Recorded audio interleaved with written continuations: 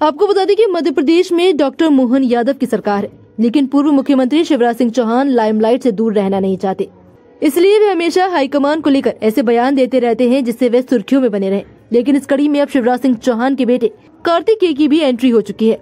आपको बता दें कि मध्य प्रदेश में केंद्र सरकार की यात्रा चल रही है, और इस यात्रा का नाम है विकसित भारत यात्रा। आपको बता दें कि इस दौरान शिवराज शिवराज सिंह चौहान के बेटे कार्तिक के भी वहाँ पर पहुँचे और उन्होंने सभा को संबोधित किया। इसके बाद उन्होंने मोहन यादव को टारगेट करते हुए बड़ी बात बोल दी। उन्होंने कहा कि अगर जनता के लिए लड़ना पड़े तो हम सरकार से भी लड़ जाएँगे, लेकिन समझौता नहीं करेंगे। सुनिए क्या कुछ कहा कार्तिकेय ने उनकी जुबानी। तो आप समझ सकते हैं कि पहले शिवराज सिंह चौहान और अब उनके बेटे कार्तिकेय हाईकमान पर अपना गुस्सा दिखाने का कोई भी मौका नहीं छोड़ते।